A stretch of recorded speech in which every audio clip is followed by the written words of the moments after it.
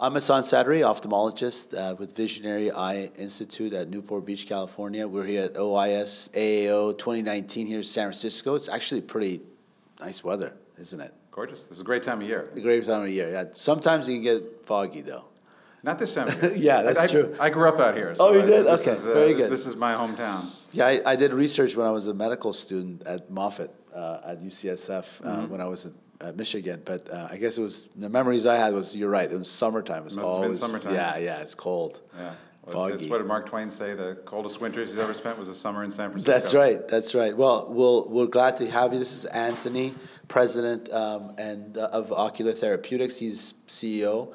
Um, we're just catching up here at OIS, and it's, I'm excited to have him because he's you know you have some great stuff that you you're um, you know having on the marketplace, and as ophthalmologists, we're very excited. So tell us what's going on. Yeah, well, this is our, as I mentioned before, this is our coming out party. So we're, brand new debutantes. We've just launched our our first product. Congratulations. Thank you. Uh, it wasn't anticipated to be our first product. Our first product was supposed to be our glaucoma product, um, but Dextenza moved its way through much more quickly. Uh, we had a couple of stumbles along the way. One thing you realize, delivery is not easy. Yeah. You kind of think that it's going to be simple. My whole life, I in the last 15 years, have been spent in essentially delivery technology companies. And you think it's a, an afterthought, you think the molecules are hard, but the delivery is pretty hard as well. So, but we're, we're out with a new product, and it's a brand new route of administration. We're trying to challenge each other to think of when is the last time a brand new route of administration was brought onto the market. Think of things like transdermals or Oh, it's been it's been decades. inhaled probably. products? Yeah, yeah, it's been for a long time. Yeah, and no, nobody can come up with exactly what it is. Yeah. You think like intravitreal injections, they say, well, that's an injection. It's still, it's still out of a needle, it's not, but depending on how you parse it, it's been a long time since Yeah. a brand new route of administration has been, has been brought to the market. And it's replacing something that started in the 1860s. So it's replacing a technology finally, after 150 years, to, to have a whole new modality about how to get drug to the surface of the eye, which is what the company's geared to do. we we want to make drops obsolete. And the first place to do that is from the canaliculus, but we're going to do it from the intercameral region. We're going to try and do it from the, the vitreous, maybe the suprachoroidal space, maybe the fornix. But there's the whole sort of uh, geography of the eye is, is open to hydrogel now that we've proved that we can get to market with, uh, with, with Dextenza. It's exciting. I mean, you know, we, we have patients in the in the clinics that just don't take their drops. You know, even post op. You know, I had a patient last week. I operated like, what drops? I said, what do you mean, what drops? I mean, we wrote it, we tattooed it on your arm. They're like, Yeah. what drops? I said, the drops you use before and after. Like, oh, those drops. I didn't get them refilled for the second eye. Yeah. So you're actually you're dead on. You're dead on. And and what happens to them? Their eyes become what red and irritated. So tell tell us. I know you've been working on glaucoma, other platforms. What are you excited about as far as in the pipeline? Well, the pipeline has, has two products in particular that, that, that are in phase one that I'm extremely excited about. One, one is, is OTX TIC, which is an injection in, into the intercameral space with, a, with travoprost uh, containing uh, hydrogel rod.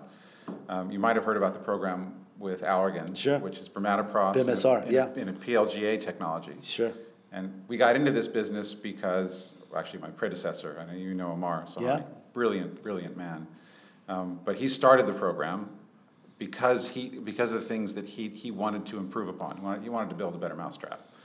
And what we expected to happen with the drug is what's happening. You inject it into the intercameral portion of the eye. Hydrogel is like a sponge, so water has access to the entire matrix from the moment it's injected. So you inject it in, into the intercameral space, it fills up with fluid, it falls into the inferior angle and becomes soft and gelatinous. Once in the inferior angle, it doesn't move. The other thing about it is that because water has access to the entire matrix, there's no differences in pH, and the resorption can be programmed. And we program the resorption of the insert to last for six months. And we've now dosed uh, about 15 patients. And in every single one of those patients who've made it to six months, what you see is you see, you, you see the, the depot at five months, you see a little bit at six months, it's completely gone at seven. And it's like clockwork. That Every- early, interesting. Everyone go, goes at the same time, so you'll have no stacking. But the really interesting bit is the biologic response. And this is also what Allergan has seen in their, in their program. And we certainly didn't anticipate this when we started, mm-hmm. but, but that we have one patient out now to 16 months, and it still has efficacy equal to or better than drops. Interesting. So we have drops in the control eye, and we have the, the, the insert Sure. in the, in the active eye. And, and almost everyone we've seen has had efficacy out to, uh, as, long as we've been able to track, because the, the longest patient we've had now is out to sixteen months, still hasn't needed to be rescued. So that, that's That's very exciting. And, and that's, that's one of our phase ones. Another one of our phase ones, we have a, a, a tyrosine kinase inhibitor that we deliver intravitreally. And we finished our first phase one cohort with that. And we've taken patients who are, patients with a lot of fluid, uh, very, very sort of, you know, poor vision, because in phase one, you typically take, uh, particularly in, in injections. Refractory, eye, yeah. Refractory patients. And, and the depot is exact, acting exactly as we had anticipated, no issues with the depot, it's, it- it's going away when we, we, we thought it would. Um, we're yet to present on what that data is gonna look like, but, but it's a very, very interesting approach. As you know, there's Graybug and Kodiak and, and, and Panoptica, that, that there are lots of signals out there of what TKIs can do and how they can be used. And we're riding a little bit on their coattails, slightly behind, but we're formulation people, and this is a formulation product. So we, we inject a, a a cylinder, a very tight cylinder, and with a 27 gauge needle into the back of the eye. Beautiful. And it, it, it stays for six to nine months, and then it delivers the, uh, the TKI dose, which can also potentially last longer than the depot itself. So we're very excited about what we have. So it's, it's interesting because both pipelines, you're, you're smart. You're actually kind of dovetailing a little bit from de, you're de-risking it, which is really smart. I mean, from a standpoint of, Yeah. modalities, right? Yeah. So I think that that's a, that's really, really smart. So phase one, take us to phase two, A and B, and then eventually phase three. You're gonna do all three, you think, or you- what's your I plan? don't think you need to. I mean, Yeah. I certainly with, a- with, with the, the the travoprost. Yeah, um, because there, why? Because there's data already available. There- Yeah, you, you know how it's gonna work. The question Sure. is the formulation. Sure. And what we're doing now in phase one is optimizing the formulation. Once you have that, then you go to the agency. When, once you have that, you go to the agency and you can potentially do it phase two, three. Got it. And, and that, that is because given the duration of action that we're seeing. Yeah. It, it can be, it can be registered as a single dose therapy. Gotcha. And- Interesting. Which means you don't need to do repeat dosing, which is in, in the, with the FDA interesting. approval. That's the- novel. Yeah, it's, well, it's, once again, we're, we're, we're a follow-on program from, you know, what Allergan has done, which is fantastic. That, Yeah. that, that, that approach and the, Yeah. I think the, what's happening with the trabecular meshwork, with prostaglandins delivered directly in the inferior angle to the trabecular meshwork, was unanticipated. I think Allergan didn't anticipate it. And, you know, we're, we're, we're actually seeing what they appear to be seeing from the data that, that, the data that, that they've shown.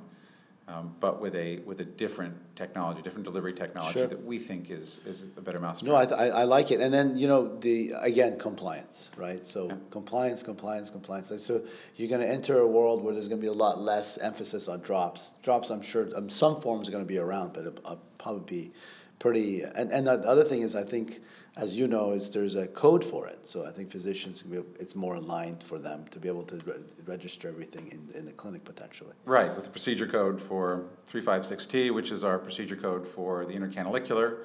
So any intercanalicular approach that we have, and I forgot to mention, we had a, completed a phase three with our, with, with OTX-TP, which is a, also a travoprost containing, uh, but steady state delivery of, of uh, microencapsulated travoprost via an intercanalicular insert. And in that phase three program, we had nine time points um, over, over a three-month period, uh, three diurnal time points over, over, over a three-month period with three, three check-in periods, so nine endpoints. And we were statistically significant at eight of the nine. We'll have a conversation with, uh, with the FDA on October 30th about, which is the first time the FDA has really been challenged with the idea of how important is compliance. Uh, we missed one of the, one of the endpoints, we missed 8 AM in week 12, but we got 10 AM and 4 PM. Uh, Is, is that a drug that the FDA sees because of its compliance benefits, it- its assured compliance, that, that it's, it, it- it's a, that they'll look at it as a clinically beneficial. meaningful benefit? And it's hard to handicap how that goes. But I have to admit, when I see OTX-TIC and I see the, the, the duration of action, I see the drops in the milliliters of mercury that we, we can see from the, the, the phase one, you know? It's I- remarkable. Yeah, I don't know whether I would do it with an intracanalicular insert or, or an intracameral, but the intracameral looks like the, the, the, the modality to go. Yeah, I think you know quickly we're going to see um, a world where patients have that option, and it's funny because initially when you talk to the patients, um, I, w- I was expecting pushback because of this as a procedural based therapy. But no, in the clinic, it's been it's been just a concept of oh yeah, I don't have to go to the pharmacy anymore. I don't have to deal with the prior auths. I don't have to worry about remembering to take my drops. That's very very wildly popular. Yeah, as a concept. Well, I, I also think compliance. One, one of the things when it really one of my earlier experiences in the pharma industry, I, I ran the the anti, antiviral uh, division at Bristol Myers Squibb. I see. And this was in the early days of HIV, and uh, um, one of the things I was me and a number of other people, not just me, we were successful in convincing essentially our CEO, who was pressing for, for, uh, um, for uh, patent rights in, in South Africa and a number okay. of other developing countries, and convince them to say, don't. You know, this, this is, all this is going to do is jeopardize patents in general around the world. We understand how we feel about patents in, in, in, the, in the pharmaceutical industry. But if, if we enforce them unnecessarily, then, then we're actually going to wind up jeopardizing these patents. And that we should actually give away at cost medicines in the, in the developing world for HIV. And we worked then with some uh, other agencies that actually made them not only sort of at cost but free and delivered directly to the patients. And even then, the, the, the treatment levels went from about 1% of patients who are HIV positive to about 1.5%. Wow. So they thought it was about, uh, about cost and about access and about distribution. It wasn't. But it wasn't. People don't take their medicines. It's just behavioral. It's just behavioral. It's just, it's just well, in that environment, they, there's no history of, of taking regular medications. But even when people have a regular history yeah. of it, and we live in the world we live in, people don't take their meds. No. No, and there's there's a lot of good data behind that. Your the National Eye Institute data so definitely supports that, especially when you're adding medications. You know, everything goes down precipitously. Yeah. Very well, it's good. not only whether you take it; it's whether you take it correctly. Yeah. And that's yeah. where eye drops come in. As as they're hard to take. They're more annoying than, than what a tablet would be, and they're harder to take correctly. It's kind of hard to take a tablet incorrectly. You know whether you've swallowed it or not. But with an eye drop, you think, hey, I got it in. This, this, is, the, the this, is, this is there, and yeah. it's just rolling down your cheek. Well, I was telling Kevin uh, uh, earlier yesterday, we had a patient that hey, yeah, she was on latanoprost, and she, her pressure, his IRP pressure wouldn't, wouldn't budge, and she would take it. And I mm-hmm. called the pharmacy. Yeah, she was taking, she's refilling it. Sure enough, I said, take, show me how you put your drops. in. she opens her mouth, and she was putting yeah. in her mouth. True yeah. story. It's remarkable. And so there's these assumptions that you know you would think that they're you know, uh, I said, wow, that's, you know, it's remarkable. So to your point. Okay, so let's pivot a little bit. So OIS, how has this helped you? I know this is, I know this is your couple of years in now. Tell us about OIS. Is this uh, something that worthwhile for you to go and you recommend it? It's fabulous. I mean, OIS, what, what a company like ours needs with OIS is we, we can't do things alone. And the, the equity markets are volatile. And the people who, who invest in your company or who are selling the marginal uh, stock in your company, most of them don't even know what it is you do. I mean, over time, the market will figure it out, but, but when it comes to being able to access capital that you need in order to be able to develop your products, you, you, you, you need help. Sure. You, you need people with ideas, you need people with networks, um, but you also need potential partners who can help you bring things forward. And the beautiful thing about OIS is that there's big companies, there's small companies, there, there's people with ideas, and that OIS links up all of that together and, and sort of brings the microcosm of, uh, of uh, ophthalmology together. Yeah, it's it's a special meeting, and I've, I've gotten to know them, especially the leadership, uh, and it's just they they get it. Okay, so tell us uh, a little bit about you. So, you're if you're going to mentor someone and they're you know they're in college, do they just wake up? I'm going to be president, CEO of a pharma one day. How, how, what's your career path? Tell us a little bit about, about what happened. What what made you you know? Would you study? How'd you get here? Well, I, am a pretty odd duck for the industry. I actually was. I, I was a, initially a, a, terrorism expert before it was fashionable to be a terrorism wow. expert. And back then they called it religious violence. But this was this was before 9/11. It was in the days of the Soviet Union and the, what they called the bipolar world then. It was before bipolar became an actual condition. and I was uh, basically at, at Columbia um, getting my PhD um, in political science, and I realized I couldn't get my PhD read because the, uh, the people within this, the, the department were all Cold Warriors. They had no interest in looking at religion as an, as a, as a, Interesting. as an interesting discourse in, uh, in, in, uh, in political science. So they said, well, you should go to a school of theology. I said, well, theology is not what I'm studying. I'm studying how, how religious violence impacts the, the, political, the political map. Um, turned out I was right, but you know, timing's everything. You were ahead I was, I was right at the wrong time. That's interesting. So, so I needed a job, right? And I, most, most of my uh, research was field research, so I, I, I had some a pretty good capability with languages. I spent a lot of time actually in, in the north of India, in, in, in uh, not Pakistan, in, in the Punjab.